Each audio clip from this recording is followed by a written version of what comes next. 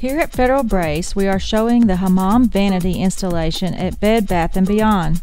These vanity supports are designed to be installed before the drywall. At a 48 inch counter height and having a 20 inch arm extension, it is a perfect fit for supporting counters. They should be installed into a stud every 16 inches. If metal studs are in place, a wood stud must be installed next to the metal stud.